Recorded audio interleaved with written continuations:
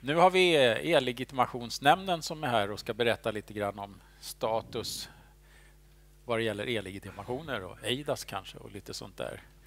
Eh, Mattias Dandoa som vi har haft en hel del att göra med vi från Huddinge som har eh, granskas av e-legitimationsnämnden för att bli utfärdare av svensk e-legitimation.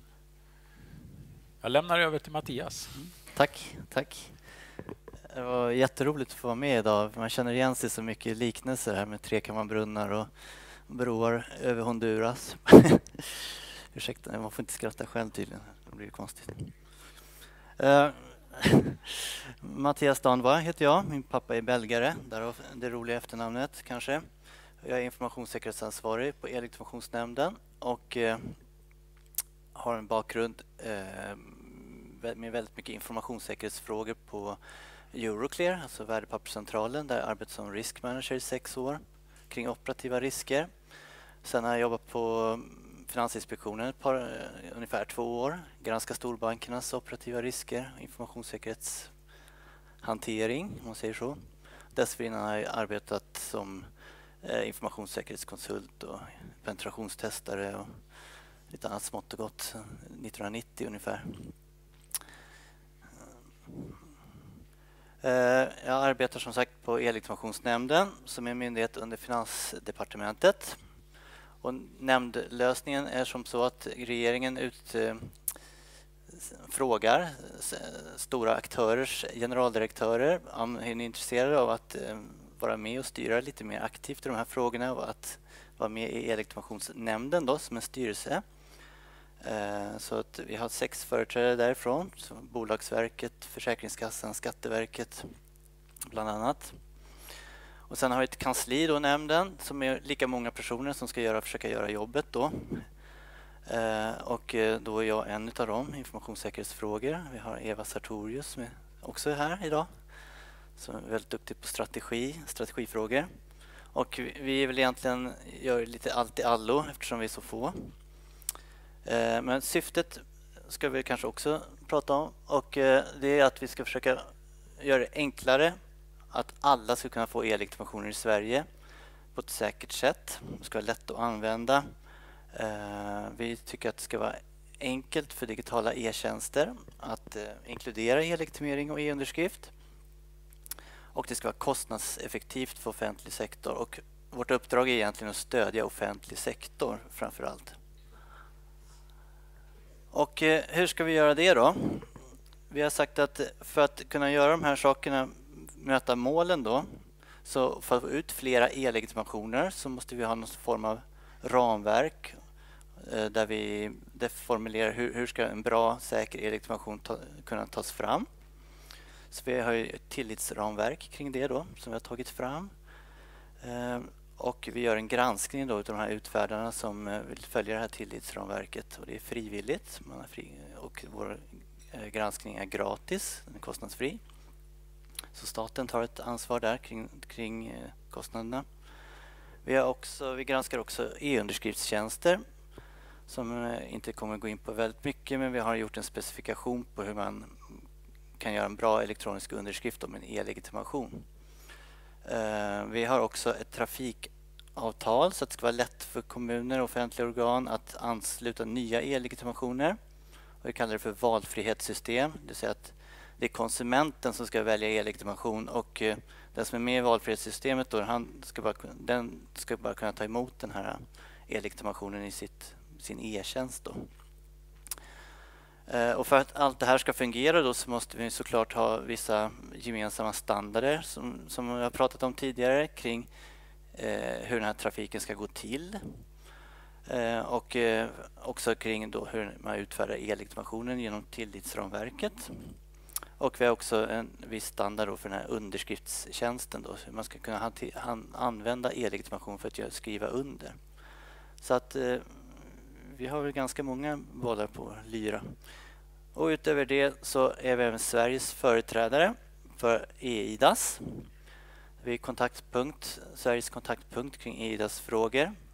Och vi är ansvariga för att bygga upp den svenska landsnoden, då, den inkommande e-legitimationen som kommer in då som ska distribueras vidare in till myndigheter och kommuner och även privata organ kan använda EIDAS landsnod.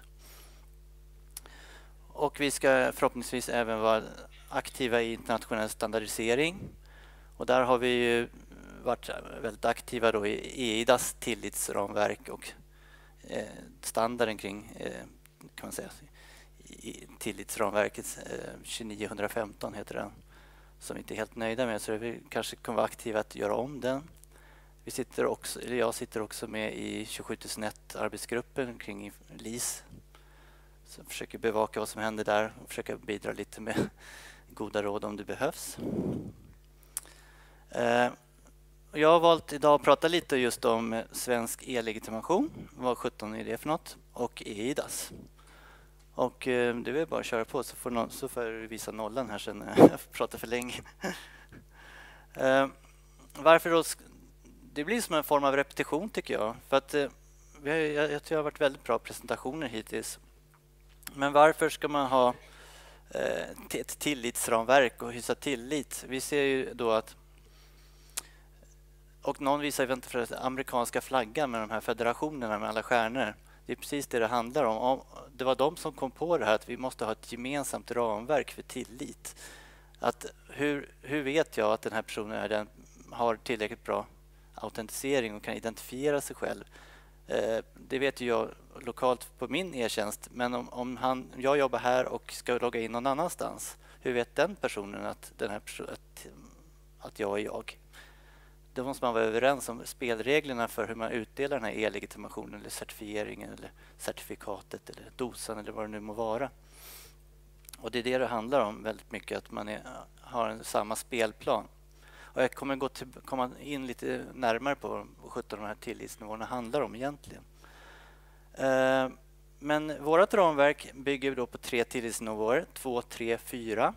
Tillitsnivå 1, det är egentligen att man själv påstår att jag är jag. Man sätter ett, jag, jag är Kalle Anka och skapar sig ett Gmail-konto. Det är tillitsnivå 1 då, att man själv påstår att jag är jag.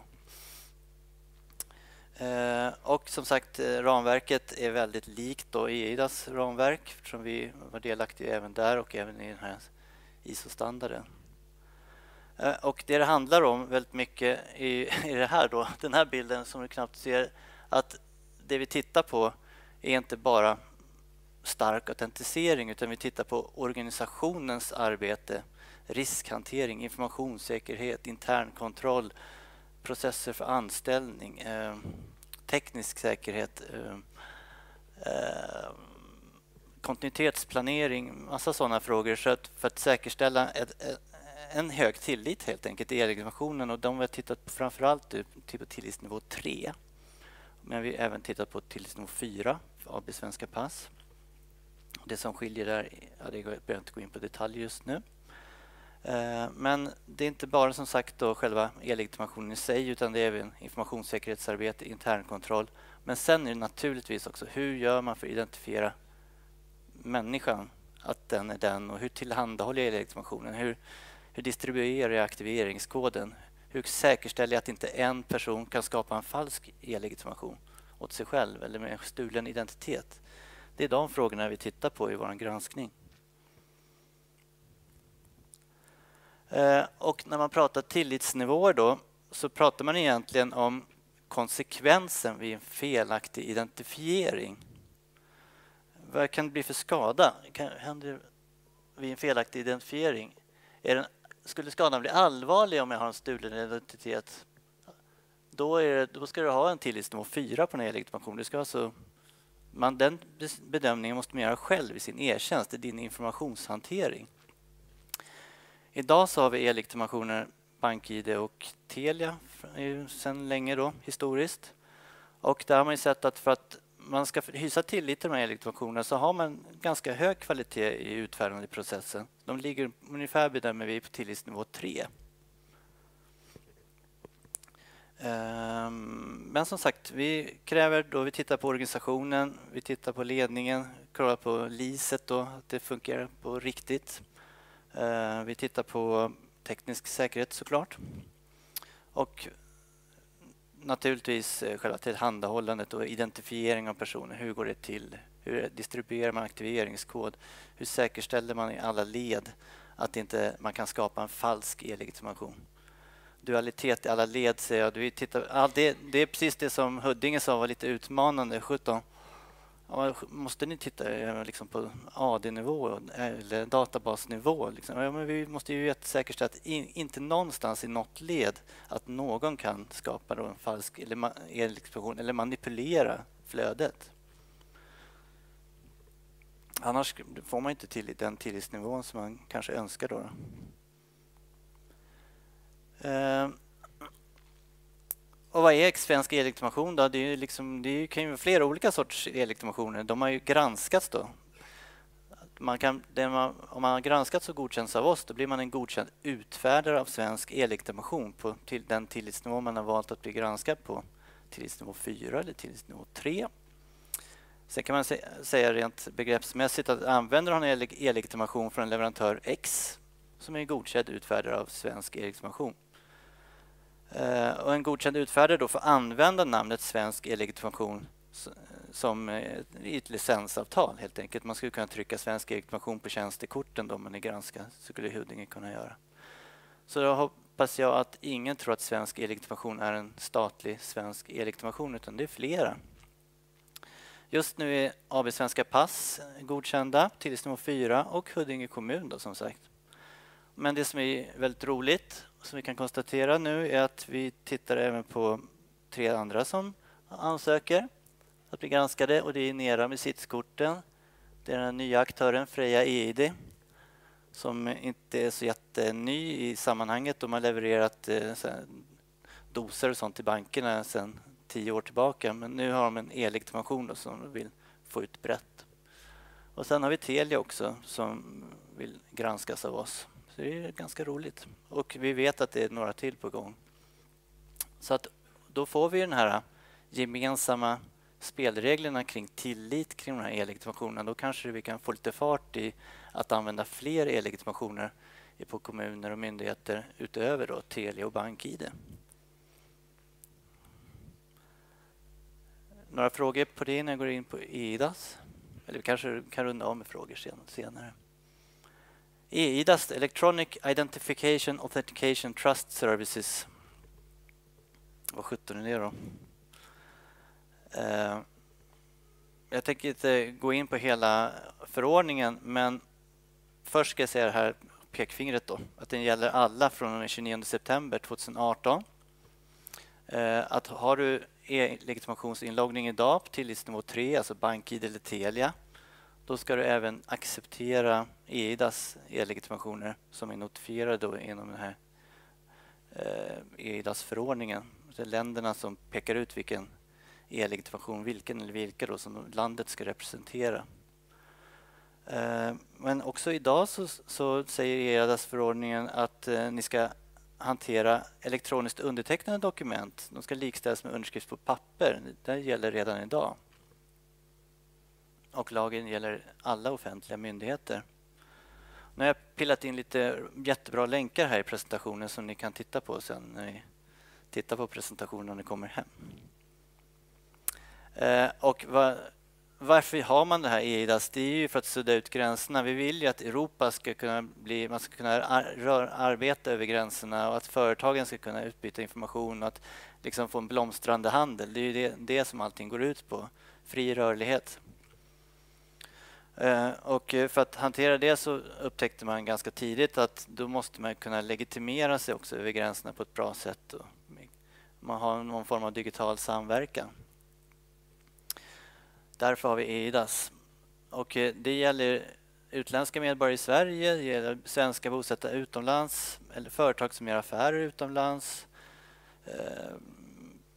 Praktiska exempel är när man svarar på offerter utomlands så ska man skriva under då med kvalificerad signatur. Så det är mycket IDAS-frågor som florerar just nu. Eh, kommer det bli någonting av IDAS i praktiken? Vi ser ju att eh, fram till september 2018, ja, Tyskland har redan klart sin granskning då. De andra EU-länderna har tittat på Tysklands lösning och sagt nickar sa ja, men det här verkar, verkar bra. vi har gjort en observation kan man säga, de andra länderna. Tittat på, de har fått presentera då hur de arbetar med tekniskt frågan och identifiering och tillhandahållande och hela paketet då i det här EIDAS tillitsramverk. Och de har fått ett okej okay från de andra länderna, även om det är mest ett observationsokej. Okay. Länderna har eh, en egen suveränitet i att bestämma sin egen kvalitet på e-legitimationen, men det är bra om de andra är med på noterna. Vi tror att mellan fem till tio länder kommer att vara klara eh, utöver Tyskland då, innan september 2018. Så vad behöver vi göra i Sverige? Det är dags att börja fundera på hur vi ska ta emot de här utländska e-legitimationerna. Och man kan göra pilottest mot vår testmiljö som vi har satt upp. Vi måste också titta på om du har en e-tjänst och har inloggning idag, vad är det som du ska kunna erbjuda den här utländska e-legitimationen som inte har svenskt personnummer? Hur, hur, hur, vad är det för service jag kan ge? Behöver jag språkstöd? Eh, svarsmeddelande vid godkänd inloggning. Det finns en hel del frågor som den som har en e-tjänst behöver hantera. Eh, också kan man titta på hur gör jag om det kommer in en elektroniskt underskriven handling till oss? Har vi en rutiner för det? Hur ska vi hantera det? Eh, bara för skojs skull så loggade jag in med min Telia-legitimation på Sundsvalls eh, e-tjänst häromdagen för att se hur det ser ut där. Fantastisk e-service då, med väldigt mycket tjänster. Eh, och där ser jag ju att här behöver man ju... Jag tror inte inloggningen i sig, från, med EIDAS inloggning i sig är ett problem, utan det är ju vad händer sen då? Hur hanterar man Thomas Müller i det här systemet?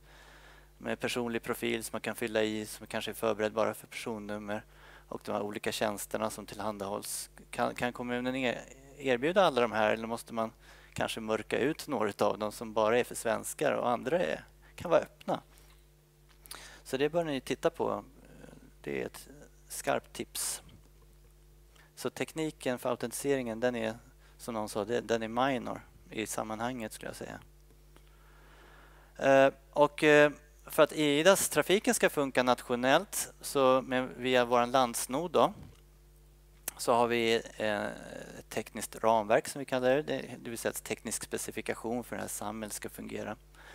Och det som kommun måste göra då det är att ställa krav på sin leverantör att nu vill vi ha, hantera EIDAS här. Eh, följer ni te nämndens tekniska ramverk? Och eh, titta såklart på sina egna e-tjänster. Hur, hur, ska vi möta behovet när de väl är inloggade? Och leverantören har sagt att inte, vi har inte fått så mycket krav på oss så vi väntar lite grann. Med att en, del en del tittar såklart, men eh, inte alla. Och vi tror att e-tjänsterna i sig då måste vara mer aktiva i, i, i den här analysen. Alltså att kommunerna offentliga organ måste vara mer aktiva i EIDAS-analysen. Vad behöver göras på vår sida? Inte bara lita på att CGI och Tieto fixar biffen. Vi ser också att e-legitimationer utomlands ifrån eh, kanske inte har underskrifts, elektronisk underskriftsstöd. Eh, så att vi har eh, tagit fram en lösning där man kan använda en e-legitimation för att skriva under. Alltså man inte den här Idag kanske man har en BankID-underskrift i sitt e-system men då kommer ni få en, om ni ska få in nya e-legitimationer i det här systemet så måste ni se över hur ska jag hantera en e-legitimation som inte har inbyggt underskriftsstöd. Då har vi något som heter fristående underskriftstjänst som ni kan fråga oss mer om. Och det kommer att krävas en hel del arbete för det att funka. Inte bara det, det måste man avtala och handla upp så för att sammanfatta den här då, EIDAS-hanteringen, det är att fort som ögat börja koppla upp sig mot EIDAS-noden. Eh, fundera på om man ska ha en fristående underskriftstjänst. Det kan också innebära mer fördelar rent processmässigt, internt och extern inloggning. Eh, analysera möjligheterna EIDAS skapar. Och gör ni det då så har ni förberett er för nya svenska e-legitimationer som snart kommer här Eh, som jag hoppas. Och eh, sista sliden, det var ju ganska bra tidsplanerat. sista sliden, eh, det stödet vi kan ge då Det är vägledningar för tekniskt ramverk, testmiljö för IDAS. Vi granskar då eh, leverantörer som vill leverera de här underskriftstjänsterna enligt våra specifikationer. Och idag är det Kammarkollegiet då som har egentligen inom ram, Kammarkollegiets ramavtal. Eh, vi har också ett trafikavtal, valfrihetssystem 2017 för e-legitimering som vi ser som en naturlig plats då för nya e-legitimationer att lägga sig för att leverera till offentliga myndigheter. Så myndigheter behöver upphandla då, eller egentligen gå med i det här valfrihetssystemet för att kunna få de här nya e-legitimationerna. Eh, behöver inte prata om metadata. Eh, däremot så vill jag lyfta ett halvdagsseminarium den 22 och 23 november där vi kommer att prata mer om frågorna kring EIDAS. Och så har vi såklart e-legitimationsdagen 1-2 februari som vi vill att alla ska komma på. Och eh, så är vi såklart alltid tillgängliga via telefon och e-post för att svara på era frågor. Eh, det var nog allt just nu. Om jag har 30 sekunder kvar kan jag ta en fråga.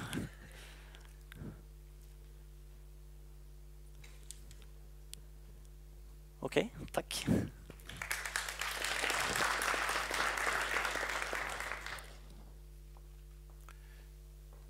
Jaha, ja.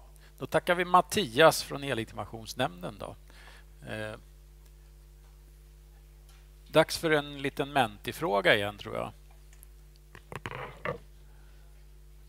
En uppvärmning.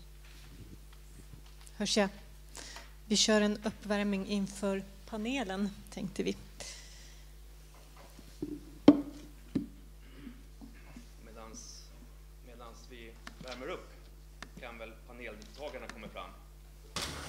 Vi kan väl göra som så att vi låter den här gå lite så kör vi igång helt enkelt. Och jag skulle vilja ställa första frågan. Eh, får skicka runt den här micken då. Helt kort, din reflektion från dagen, vad tycker du tar med dig viktigast? Få ord. Det är oerhört viktigt att vi pratar med varandra så att vi varken överlappar eller glappar. Stort eh, engagemang och eh, att jag har lärt mig väldigt mycket eh, och skapat väldigt många nya och bra kontakter.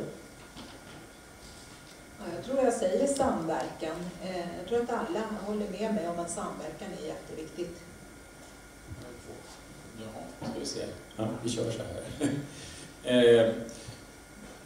Det känns som att en av de viktigaste sakerna är ju att, att vi får en sån medvetandenivå när det gäller e-hälsa och digitalisering. Och det tror jag vi får genom att samlas så här som vi har gjort idag. Ja, för oss handlar det som sagt om samverkan men också standarder. Eh, och eh, den här dagen är otroligt viktig input för oss.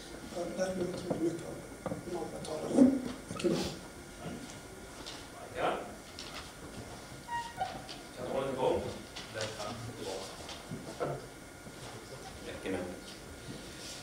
Jo, vi hade den här vårdvisionen som sa att Sverige ska vara bäst i världen på att använda digitalisering och e-hälsas möjligheter år 2025. Vi var ju ganska övertygade här inom att det kommer vi vara, eller hur?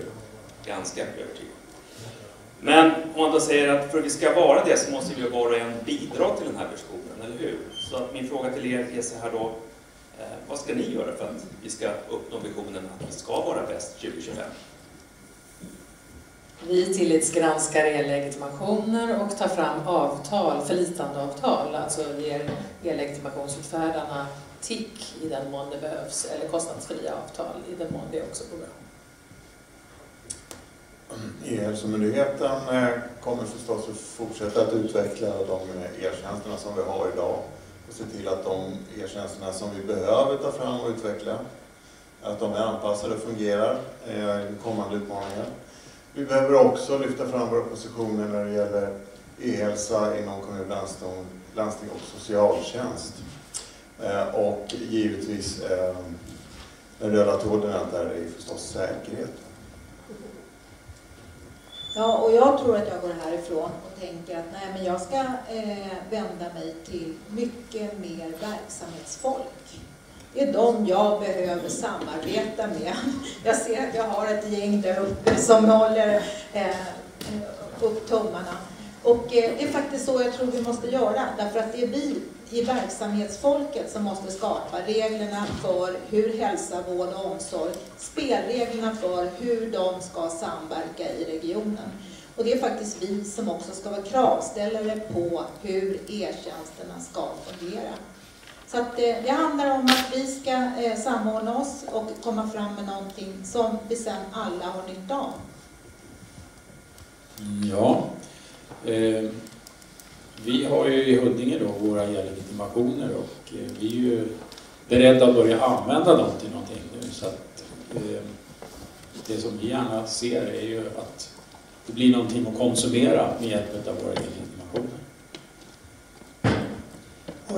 En stor fråga, det finns säkert de inom TEPO som kan svara på den betydligt bättre än mig eh, på verksamhetssidan. Men om vi tittar på mitt område som jag representerar så, så är ju att vi ska, vi ska vara möjliggörare. Vi ska inte vara någon som bromsar realiseringen av det. Utan om vi hjälpa till och skjutsa fram det här så, så har vi nått ganska långt. Har vi någon i publiken som vill köra in en kommentar, fråga på den här? Vad vi ska göra tillsammans för att vara bäst 2025? Um, om, om det är någon som känner i publiken att ni har något som vifta så kan, vi, kan ni hoppa in också löpande här under panelen. Annars om vi går vidare med den här frågan som vi nu har haft Mentimeter på um, och publiken då som pratar om samverkan, vad som är viktigast för att vi ska lyckas med digitalisering inom vård och omsorg. Ni själva reflekterar lite på vad ser ni som är den största utmaningen, det största hindret, det största problemet, det är där ni måste lägga ner störst kraft för att det verkligen ska lyckas det här. Ska vi, ja, vi kör väl samma ordning som vanligt då. Tack. Eh, jag tror att det är för svårt att förstå eh, vad vi håller på med och hur det hänger ihop, de här olika federationerna och vad gör vi nationellt och hur hänger det ihop med utriket. Eh, så att jag tror vi ska satsa på att göra enklare bilder och berättelser för alla som nu behöver förstå och komma in i det här. Var det pekboken som efter? Ja, pekboken. Ja, och jag tänker att det här gör vi tillsammans eh, och att vi behöver samverka eh, i ännu eh, större grad och utveckla det så löser vi nog det här på ett bra sätt. Jag tror att vi måste börja och ha ett mål. Ett mål, en målvision för hur vi ser att vi ska samverka jag sa ju det tidigare att eh, för oss i landstinget så är det givet att vi kommer aldrig beta in alla våra utförare i ett och samma verksamhetsstöd. Vad finns det kvar då? Jo, det är ju faktiskt standardiserade processer och det är det som vi måste jobba med. Vi jobbar ju med processer redan idag, men vi jobbar med dem på ett väldigt manuellt sätt. Här handlar det ju om att sätta en informationsinfrastruktur struktur som gör det möjligt för oss att digitalisera de här processerna. Det spelar ingen roll vad man upphandlar för system. För det första en leverantör kommer fråga när de kommer och ska implementera ett nytt system, det är var har ni er masterdata? Var har ni era kataloger? Var har ni era produktregister och så vidare? Och jag vet åtminstone vad vi kommer att svara i landstinget att ja, det finns väl kanske inte riktigt på plats i den utsträckningen som ni förväntar er. Och vad kommer hända då? Ja, det är ju att den här leverantören kommer hämta någonting från något annat land där de har gjort en installation. Och då får vi någonting som definitivt inte passar vår region. Jag tänkte ju säga att så långt leder det som inga problem, men nu börjar jag ta upp ett problem som är lite svårt och det är att få den här samordnade infrastrukturen på plats det lät som du sa att det fattas stora delar i dagens infrastruktur för att det här ska vara möjligt. Får jag kommentera? Fråga Christer. Ja, det finns faktiskt. Det, det, det fattas en massa information eh, och en massa strukturerade modeller för att det här ska komma på plats. Men vi har ju tid på oss. Vi har åtminstone två år på oss. Och det är bara att sätta igång och arbeta. Det, det, största problemet tror jag är det som jag tog upp. Att när, så fort vi börjar prata om det här med samverkan med kommuner så, så blir det någon politisk fråga över att det ska vara någon maktkamp. Och det är ju det vi måste komma ifrån. Alla är vi betjänta av att vi får den här på plats. Ja, eh, jag tror att vi skulle behöva eh, komma till verkstad på något sätt. Eh, tyvärr så är det väl kanske lite svårare än eh, det som vi pratade om i morse, det här med appar som eh, ja, Twitter och Instagram och sådana saker. Tyvärr så är det lite mer komplicerat det här men eh, vi måste ändå komma till det läget att vi liksom börjar och, och göra lite verkstad och visar att vi, att, att vi kan göra något mer konkret så att säga. Det behöver inte vara det mest avancerade och den mest eh, slutgiltiga lösningen utan bara vi kommer någon vart så vi har börjat på resan så att säga. Skulle jag, skulle jag välja ett ord här skulle jag nog säga verksamhetsnytta. Alltså fokusera på vad, vad, vad kan vi tillföra? Tekniken tror jag vi alla är överens om finns i den mån vi ska göra. Det handlar om, precis som Kerstin är inne på, med, vad, vad finns data, vad finns processer, flöden? Men fokusera på vad, vad är det vi ska leverera och vad ska vi uppnå? Och det är där vi har ett stort ansvar som, som tjänsteleverantör. Men verksamhetsnytta, vilket tidsperspektiv? Hur snabbt ska man kunna uppnå denna verksamhetsnytta om man ska lägga infrastruktur? Det handlar om att som sagt eh, ta det här i små steg. Det kommer ingen boom 2025 där vi lanserar version 1 eller till och med version 10 utan vi måste ta små steg och det är det vi gör hela tiden. Men i tajt samarbete med, med verksamheten på landsting och kommun. Mm. Får fråga publiken här då. Det var ju faktiskt en liten majoritet som inte trodde att vi skulle vara världsbäst 2025. Förlåt.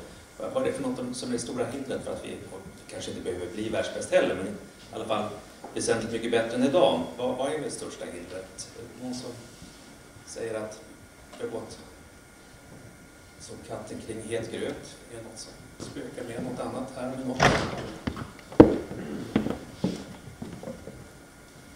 Ja, nu klickade jag för att jag trodde att vi skulle hamna där, men eh, den här sista frågan vi fick skriva på, det jag tror är en utmaning, det är att få våra politiker och högsta ledningar att förstå hur viktigt det här är. Liksom. Här sitter vi i ett gäng, en inbördesklubb lite som förstår hur viktigt det är, hur mycket det här kan olja upp hela liksom, offentliga verksamheten. Men våra politiker tror jag är långt ifrån att ha den insikten.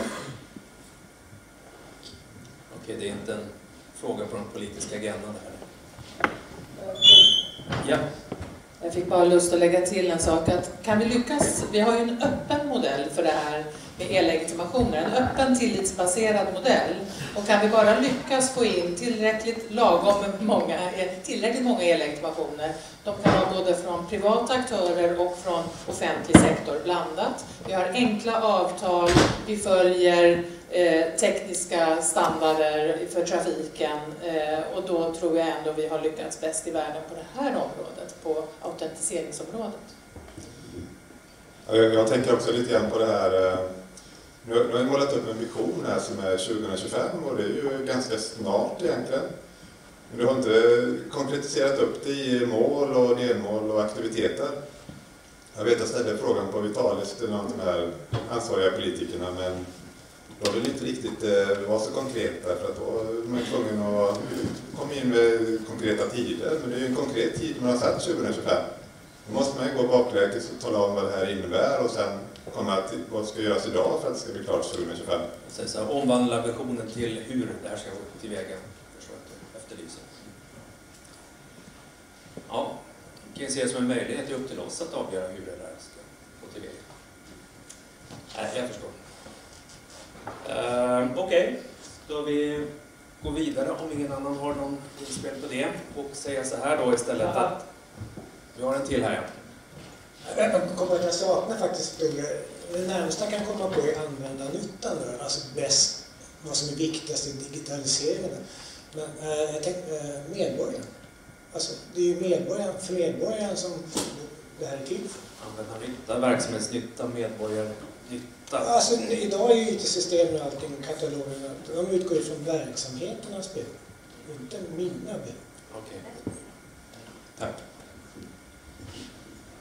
Jo, vi var ju inne på en punkt allra helst på förmiddagen pratade man mycket om säkerhet och vikten av säkerhetsarbete att om man inte löser den delen så kommer vi inte lyckas med eh, digitalisering över verksamhetsgränser. Och eh, om vi går vidare lite med den då, utmaningen vi står inför vad det gäller säkerhetsarbetet. Eh, reflektioner från dagen och rent allmänt. Eh, har vi det arbetssätt vi behöver för säkerhetsarbete? Vi har flera olika tillitsramverk har låtit som under dagen, så kommer IDAS på det. Eh, hur känns det med säkerhetsarbetet?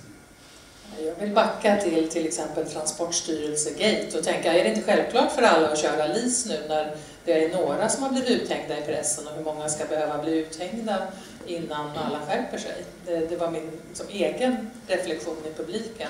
Varför ens tveka? Och när man då gör det, när man klassar sin information, då ser man ju om man tittar samtidigt på Socialstyrelsens webbplats eller Datainspektionen att det är ganska snabbt så att man behöver skydda i e-tjänsten på grund av att det finns personuppgifter och så. Och då mappas det mot de här tillitsnivåerna som Mattias visade. Då är man på tillitsnivå 2 minst i sina krav på, för att ge tillgång till en e-tjänst. Och då blir det ganska konkret. Alltså om man kopplar tillitsnivån, den svenska tillitsnivån till informationsklassen. Men behöver inte ens klassa så noga så kommer man dit. Saknar du något vad det gäller säkerhetsarbetet? Om ni fick önska, vad vore din högsta önskan för sektorns säkerhetsarbete? Ja, men det lät ju lite på tidigare talare här som att den egna erfarenheten till exempel med Huddinge kommuns e-legitimation gör att man samtidigt rensar upp lite internt i sånt som har varit kvalitetsbrister och det tror jag är jättebra.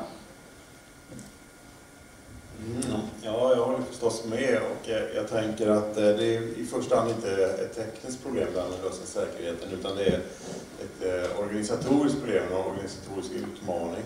Man måste ta med det här med säkerhet i sina budgetar, sina verksamhetsplaner och se till att det är förankrat från ledningen och neråt. Eh, vi pratade om, det var någon här som pratade om politiken och, och de delarna. Eh, och jag tror att det här med Transportstyrelsen och, och högre chefer och sånt, att nu har det nog landat vad informationssäkerhet egentligen är. Att det handlar om att klassa, riskbedöma och åtgärda. Och att vi ska ha rätt säkerhet. Inte för hög, inte för låg, utan rätt säkerhet. Så en djupare spridning och förståelse av LIS helt enkelt. Ja. Jag tror på mer kontroller. Menar, vi har haft eh, FAR eh, som har reviderat ekonomin i hur många år som helst. Men framför mer kontroller. Inför en helt ny yrkesgrupp. Granskare och eh, kontrollerare. Det är ju det vi behöver för att upprätthålla det här eh, regelverket.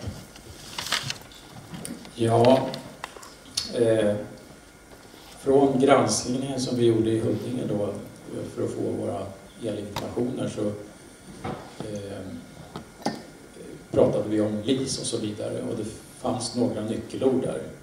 Ledningens delaktighet och engagemang.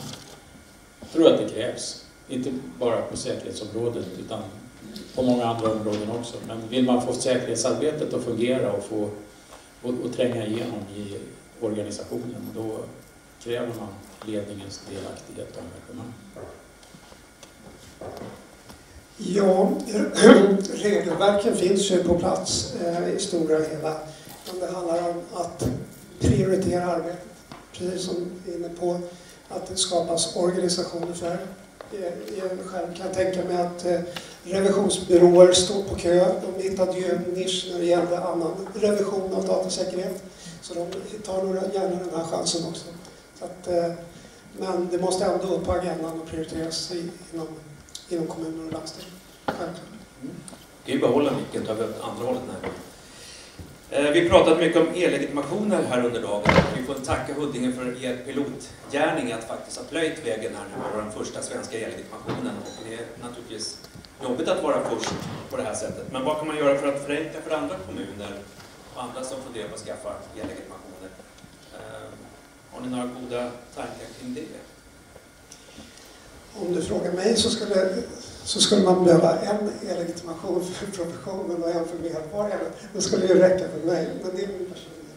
Men visst, visst ska var och en ha sin egen utfärdande. Vi, vi har ju kommuner, både små och stora, eh, som hjälper som har egna utfärdanden.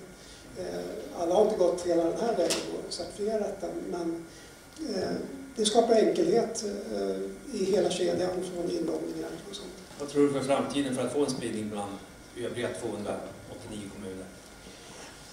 Jag är orolig att, att det blir en explosion i medborgarcertifikat så att det blir otydligt vad jag ska välja.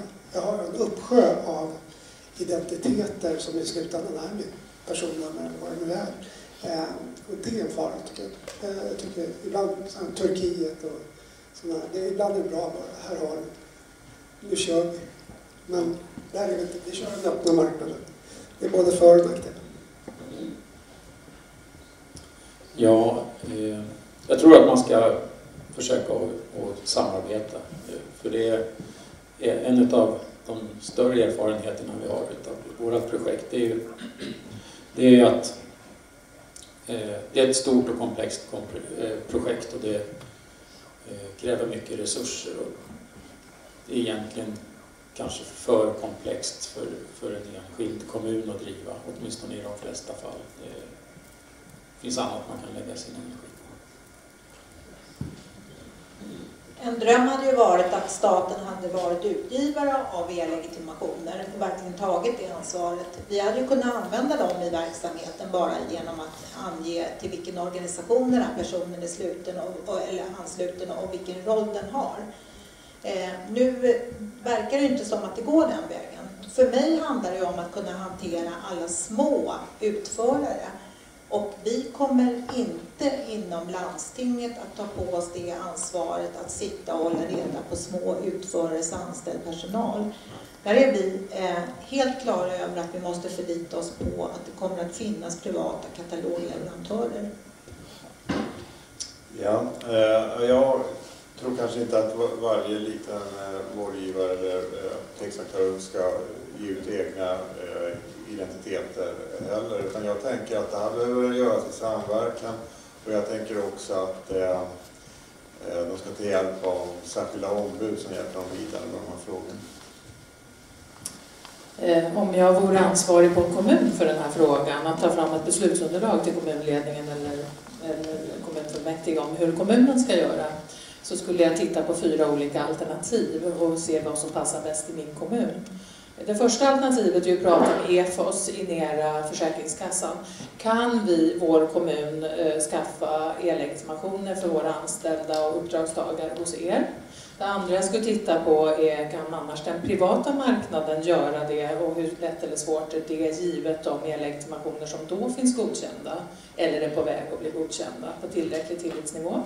Det tredje alternativet är förstås, eller kanske andra alternativet, ursäkta ordningen, är förstås att ringa till Huddinge kommun och säga god dag, kan vi samverka här kommunalt och hur ska det gå till? Och kanske snacka lite mer med eh, Inera och SKL om det finns något ytterligare att göra. Och det fjärde alternativet, då tycker jag ändå att jag vill ge Kerstin lite hopp. Eh, nämligen att kanske, kanske kommer också någon statlig legitimation till privatpersoner. Okej, okay, så Tack.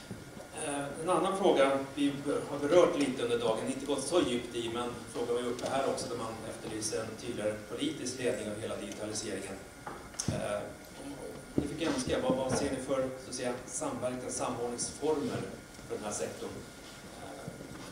Eh, om vad? Ja, alltså, hur ska det finns ju, vi vet ju, det finns en, väldigt många landsting och väldigt många kommuner och väldigt många apoteksaktörer och andra organisationer.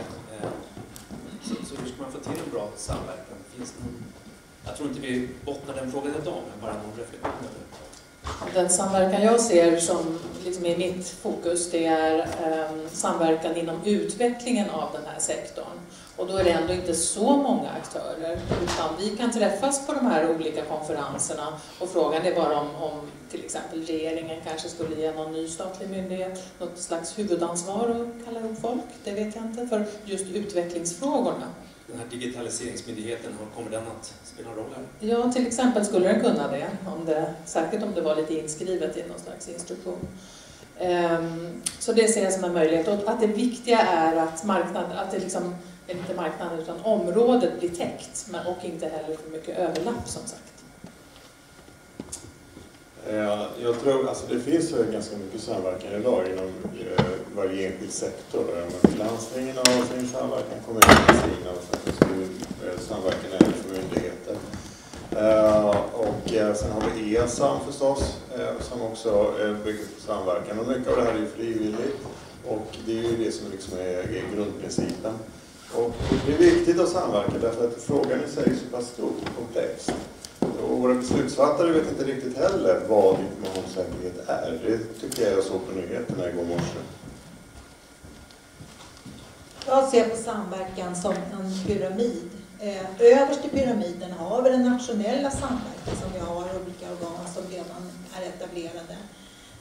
På mellannivån har vi den regionala samverkan. Det vi är inom regionen som måste lösa vår samverkan. Och längst ner så har vi verksamhetens lokala samverkan inom sin egen organisation och ta fram eh, alla de här olika eh, delarna som de behöver för att få sin kliniska verksamhet att fungera.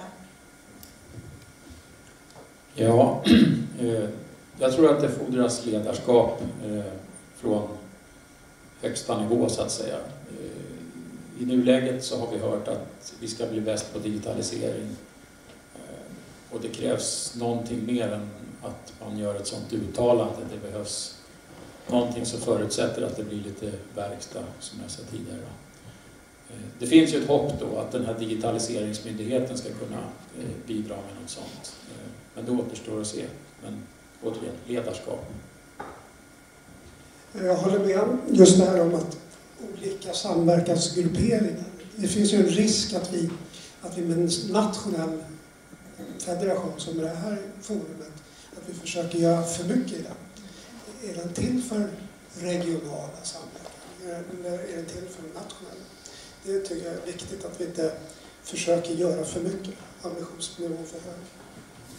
kan behålla den där. Bara en kort fråga. Vi har pratat om regler, vi har standarder, regelverk. Är det något speciellt sådant du saknar? Nej, okay. resurser. Gott om regler, ja. Ska vi bara skicka runt det? Något standard eller regelverk som vi tycker saknas? Som borde ha funnits? Nej, jag kan inte komma på något just nu.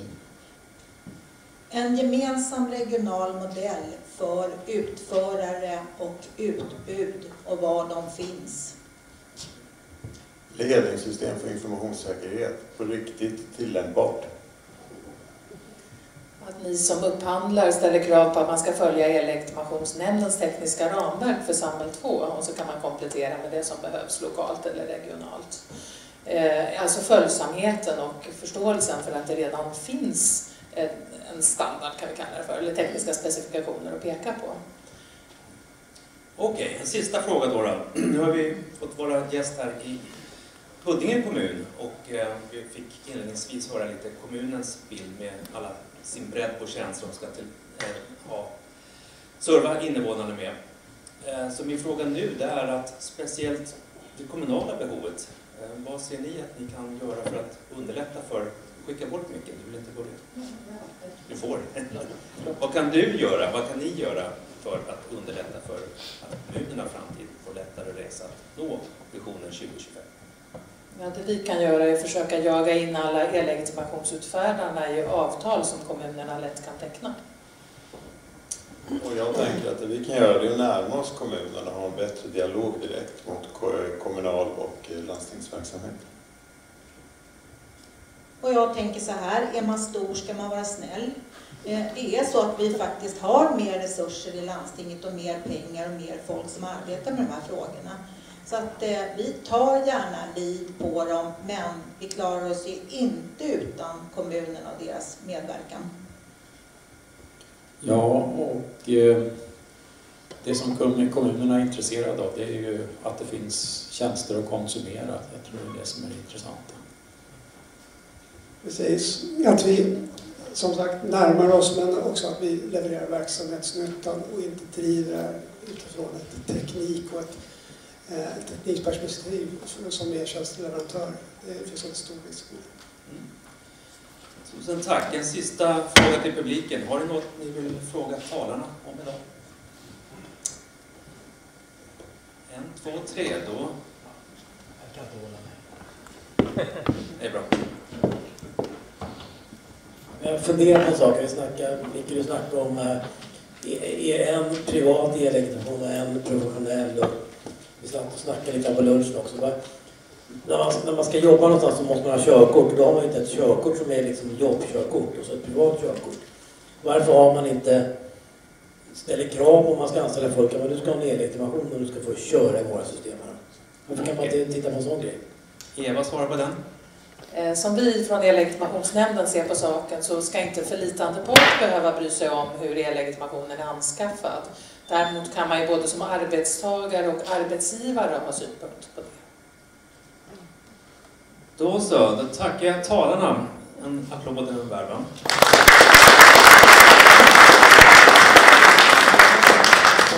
Eh, Christer, ska du ta hand om något slutord här från, som värd? Okej, okay. ja, tackar. Ja, jag tycker eh, det har varit en intressant dag. Vi har eh, fått ett ganska brett perspektiv på vad e-hälsa och vad allt det innebär egentligen. Och, eh, eh det finns mycket kvar att göra inom det här området kan vi konstatera. Vi står alldeles eh, i början på den här resan. Och det är väl lite så man ska se det också, det är en resa som vi ger oss in på. Om vi pratar om digitalisering generellt så vet vi nästan inte vad vi kommer att ge oss in på.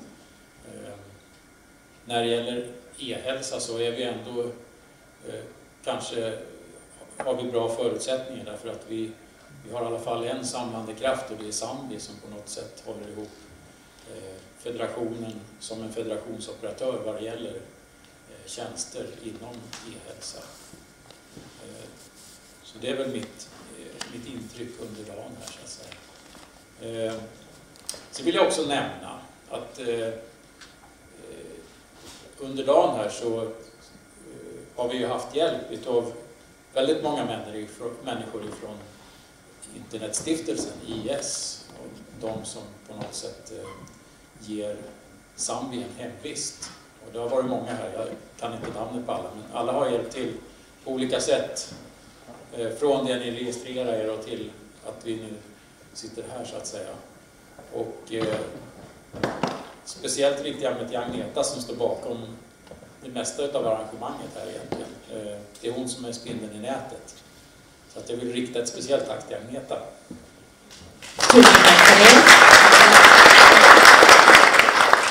Som sagt, vi är ju jättemånga som har jobbat med det här och jag vill rikta tillbaks ett jättestort tack till er här i Huddinge och framförallt dig Christer. Jätteroligt att eh, ni ville vara värd för eh, det här erfarenhetsutbytet. Det är ju faktiskt premiär för Sambi eh, och jag tror och hoppas verkligen att det, att det kommer att fortsätta. För jag tycker att det är en väldigt bra arena. Det sägs mycket bra på ett erfarenhetsutbyte så här. Eh, jättemånga bra eh, talare eh, och tack till alla er deltagare som har kommit hit också. Ehm, vi spelar ju in det här eventet för att även man i efterhand ska kunna ta del av innehållet. Ehm, så det tar ett litet tag att redigera bilderna men inom kort så får ni ett mejl som talar om var ni hittar filmerna. Så kan ni prata med era kollegor så att de också kan ta del av det här. Eh, och även presentationerna kommer vi att eh, lägga ut där. Eh, så med det så tror jag att vi tackar för idag helt enkelt. Och stort tack till alla medverkande. Tack så mycket.